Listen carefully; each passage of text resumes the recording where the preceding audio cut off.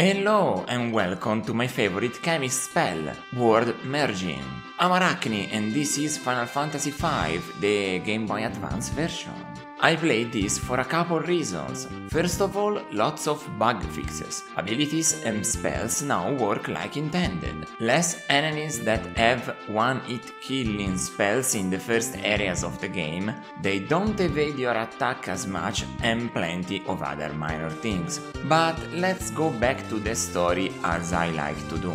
This game goes back to the single party configuration of the first entry, the four warriors of light are back, baby! Well, almost. When you're just a traveling scoundrel going around with a pet chocobo, you're not going to any person asking when you can save the world. Bart with a Z finds himself in such a situation even with plenty of occasions to leave the heroic party go three-legged, but doesn't. During Final Fantasy V, he doesn't do anything to demonstrate an actual hero-like attitude as the other protagonists. He basically does everything for Lenna, otherwise he doesn't express himself. While Aerith is a princess that just wants revenge for her father's death at the end of X's death himself, the big bad of this occasion. Has to let go of revenge because with that sentiment the crystals cannot be rebuilt. Pretty solid reasons and makes me feel that she is the real protagonist of this story.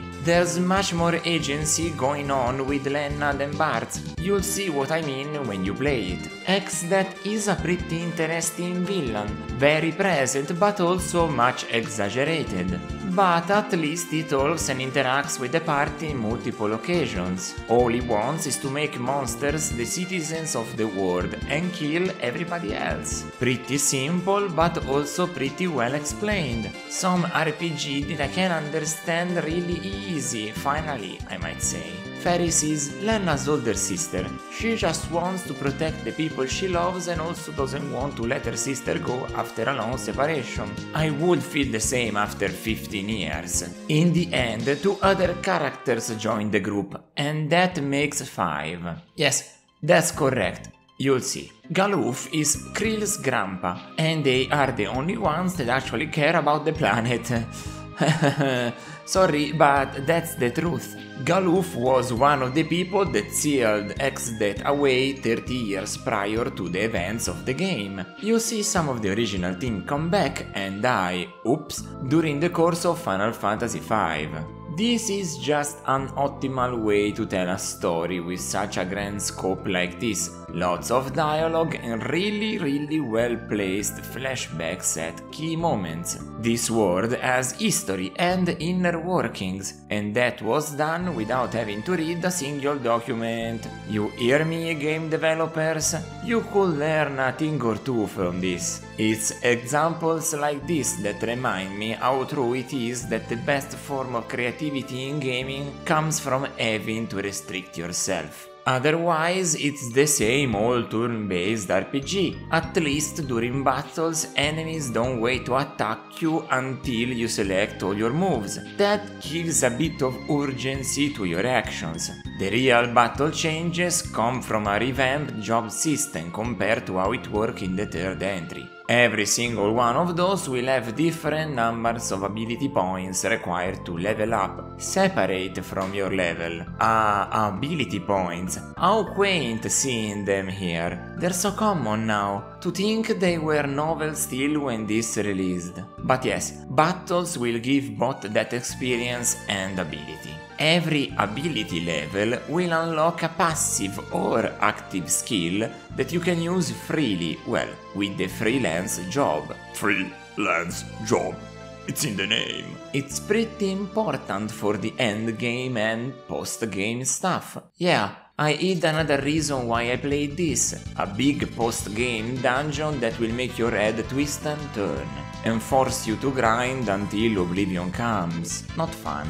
But it's extra content, so it doesn't matter much. The real crime was committed just before the ending. Because in the final area of the game, when you defeat enemies, you don't get any XP, and you'll be forced to go back to the previous area to level up. You know, in case you're not ready for Exdeath, like I wasn't. Eh, oh. I had prepared cottages to use at the final save so I could train an ear right there on the spot. But no, denied. You gotta go back where training takes 30 minutes per level. No, no, no, no, no, no, no, no. This is a grave sin in gaming. You never, never, never make people go back to a previous area without any objective.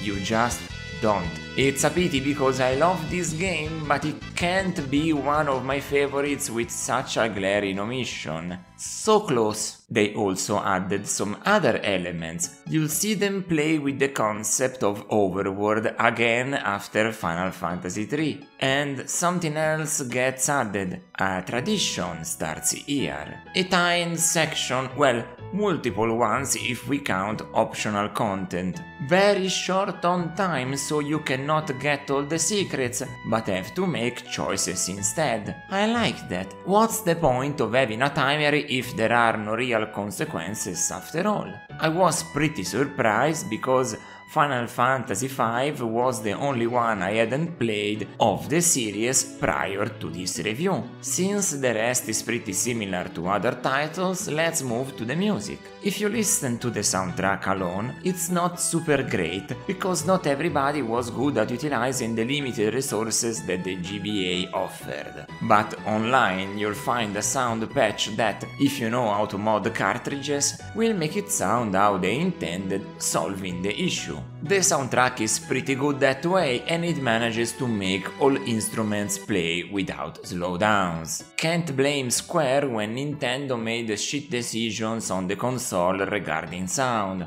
They did their best and the epic scope of the tracks shines through despite the quality. There's a lot of memorable tunes and moments of great atmosphere. It's Nobuo Uematsu after all, a guarantee during all the 90s. Art style wise it fixes all the problems I had with Final Fantasy IV. More organic texture work, less blocky look, more nuanced coloring work. It's a feast for the eyes, especially the big enemy sprites during battles. There's a lot of them and they let themselves get weird with the designs. Yes, have a monster that is both a manta ray and a dragon. Yes, put King Ghidorah in the game. Yes, give one job the armor of Pegasus from Saint Seiya. Yes, yes, have Mind Flayer from Dungeons and Dragons, and so much more. Yes, gimme, gimme more. And Exdeath just becomes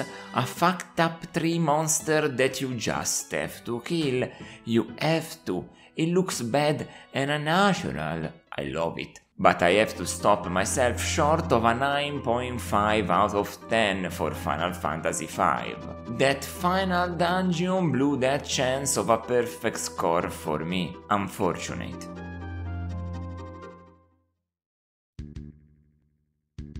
If you wanna see me play the games that I will review plus some extra stuff, catch me on Twitch at Araknie Retro. same name that I use on Twitter where I will keep you updated with everything I am doing and more. See ya at the next review, bye bye!